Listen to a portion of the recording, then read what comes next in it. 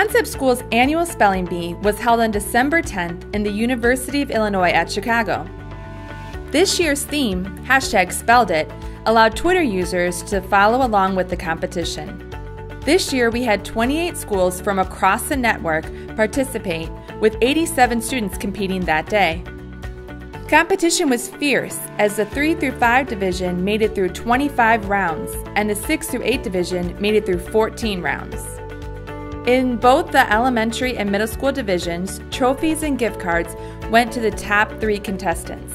Awards were also handed out to the best overall school performance, with Indiana Math and Science Academy North in Indianapolis taking first place in the elementary division and Horizon Science Academy Belmont in Chicago taking first place in the middle school division.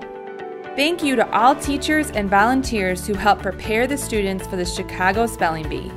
Also, appreciation goes out to all the concept staff volunteers, as well as our judges and master of ceremonies. I feel very good. Um, it's really an honor to win first place out of 40 plus kids. It's really an honor.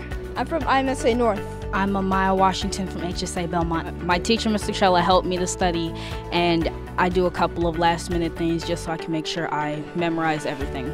In here in the third through fifth spelling bee, I got first place.